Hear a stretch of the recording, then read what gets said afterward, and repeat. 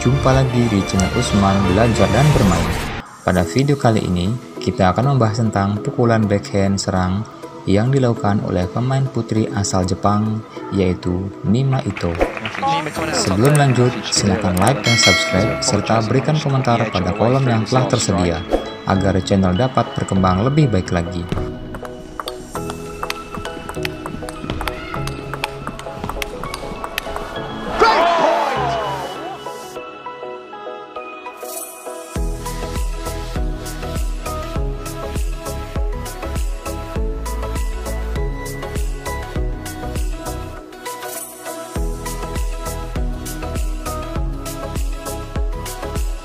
Gerakan tungkai.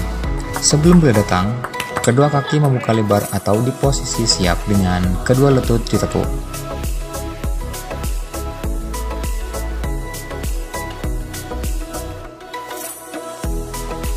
Ketika bola datang, kedua telapak kaki segera bergeser dan menyesuaikan pada arah datangnya bola dengan gerakan berpindah tempat.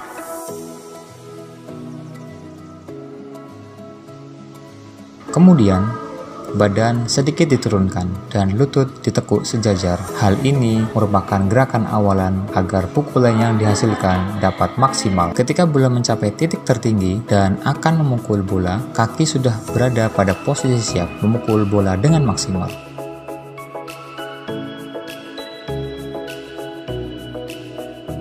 Ketika bola mengenai bat, pindahkan berat badan pada kaki kiri dengan lutut kiri ditekuk dan lutut kanan diluruskan, punggung dibungkukan.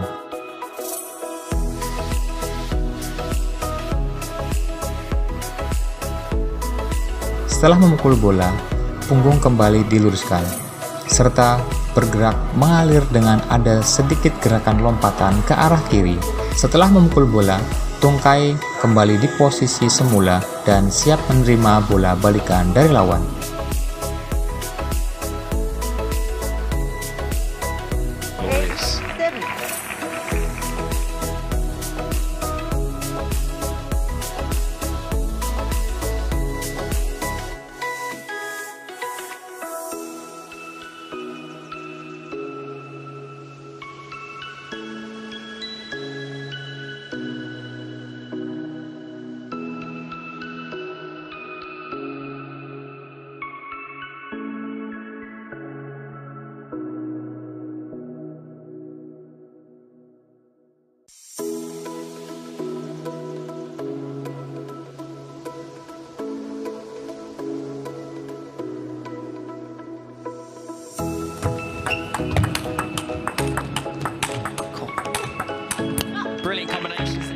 Gerakan lengan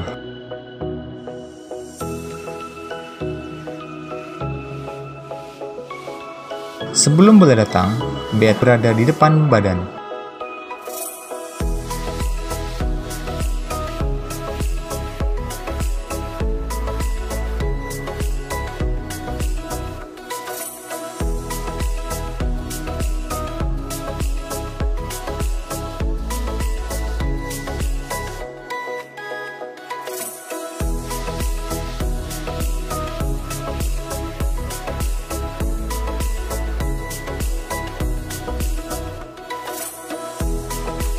Setelah bola melewati net, siku ditekuk mendekati badan.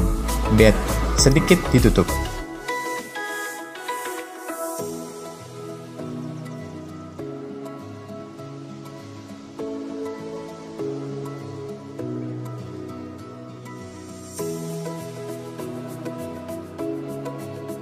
Setelah bola mencapai titik tertinggi, pukul bola dengan posisi tangan mendorong ke depan hingga lurus.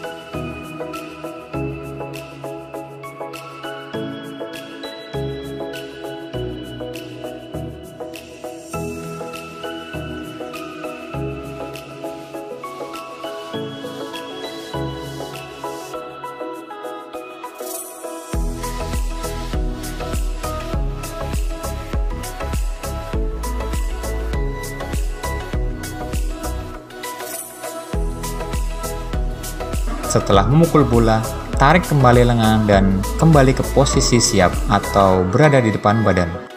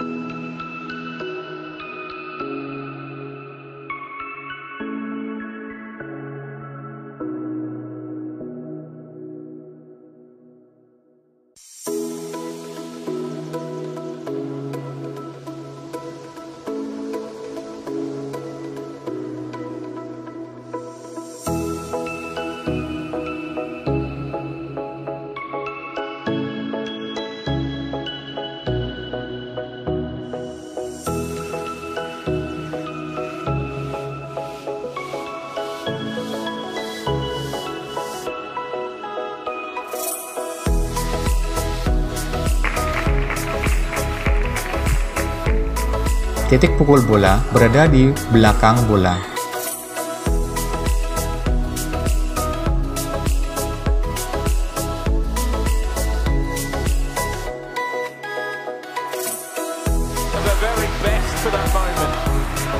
Terima kasih telah menyaksikan video sampai selesai.